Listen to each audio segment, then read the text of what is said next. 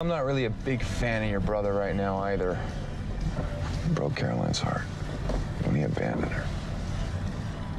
Worked out pretty well for you, didn't it?